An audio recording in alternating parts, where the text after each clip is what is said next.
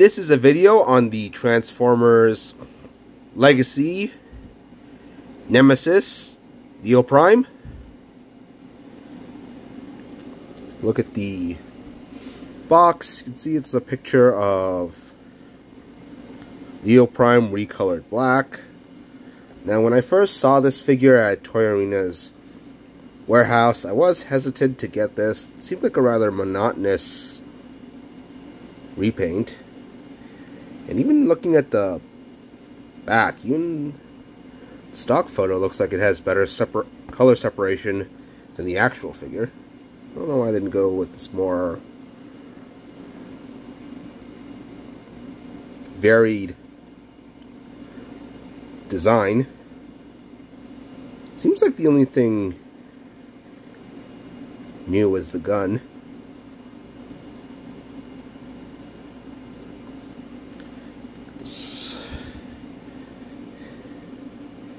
Figure itself. This have several accessories.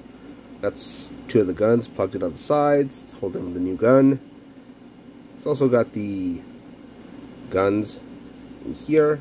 Just flip this in. It's pretty much the same design as Leo Prime. like the head, chest design, and the head sculpt, which are pretty awesome. I like the design of the knees, the bits of blue throughout the figure, especially the eyes the claws here. I did think this would be a monotonous repaint when I first saw pictures of it, and getting it in hand, I still think it's a monotonous repaint, although you can see some color variations better in person. Uh, this is a painted black. This looks like gray here. I think black here. And here. This seems to be some, this seems to be a cobalt color. I guess that's when it's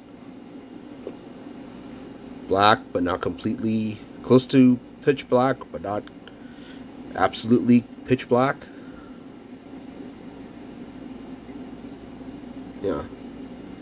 So Robo Mode is just a repaint of Leo Prime, of course. And that design was great. It's just this paint job. Just doesn't look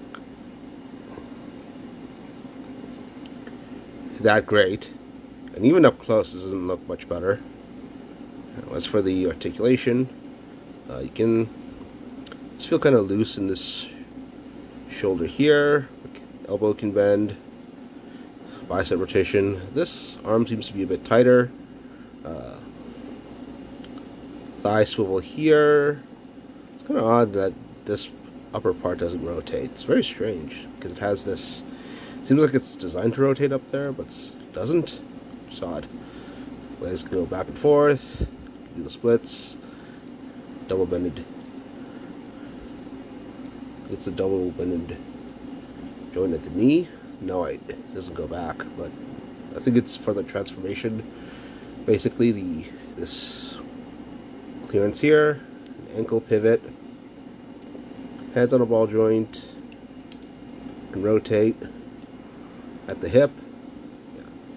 So pretty much the same articulation as Leo Prime which was okay. I'm not going to go through the transformation since difficult to do on camera and also my YouTube studio tells me people don't watch my videos on average more than two minutes.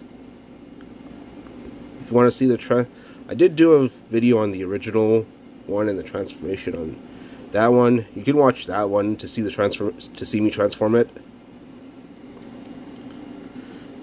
But